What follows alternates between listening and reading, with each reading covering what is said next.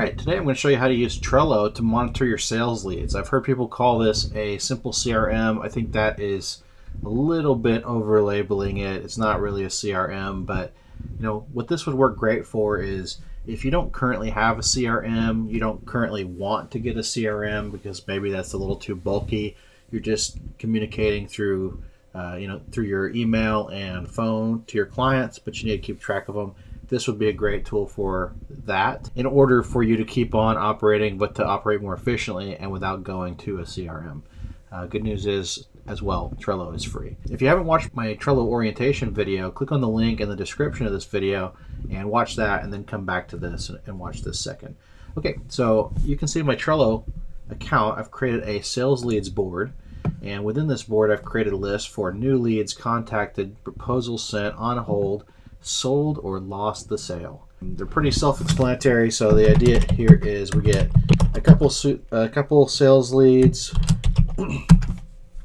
so these three come in over the weekend. I contact Tim. I contact Susan. I can't get a hold of Joe, so I'm going to leave them in there. When I talk to Susan, I go ahead and get her to the point at which I'm able to give her a proposal. So I mark her as a proposal sent you can see that I'm basically just keeping track of all my people.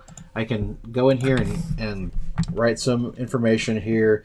So uh, let's see, I sent Susan a proposal for $2,000 that included A, B, and C. She had questions. She needs her biz partner to get call with me. I sent the proposal anyhow. Whoa.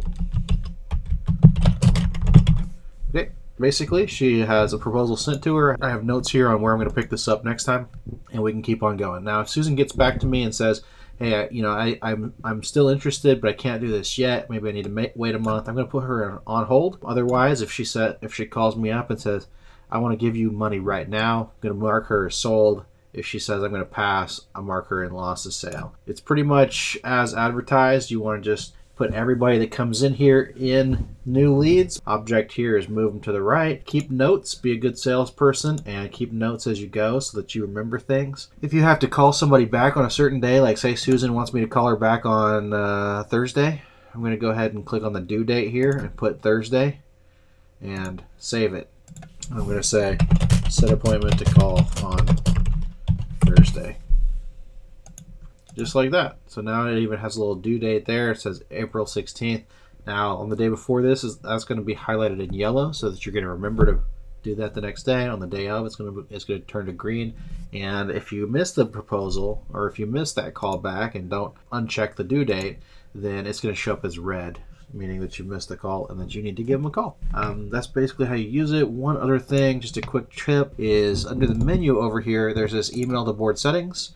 It's going to give you an email address that you can use, and basically, whenever somebody emails this, it's going to set up a new card or a new lead if you're looking at these cards as leads. So you can say which of these lists you want this to appear in. So I would say put it in new leads, position it at the top, and copy this to your clipboard. Now, what you're going to do with this email address is you're going to go to wherever your sales form is. So on your website where it says contact us or request a quote or whatever it says, you want to put a CC in wherever that form is being emailed so right now it's probably coming to your inbox or something along those lines. Put a CC in it and CC it to that email address. And what that's going to do is when it gets CC'd out, it's going to show up at Trello. Trello is going to receive that and automatically create a new lead or a new card here in the new leads uh, section. So you could literally come in here on Monday morning and say, oh, I got four leads right here. And boom, you just click into it and it's going to say their phone number or their address or whatever, whatever data that you're that you're requesting as part of your form, it's all going to show up here in the description. You can call them right from here, put them in contacted, you know, sell your pants off.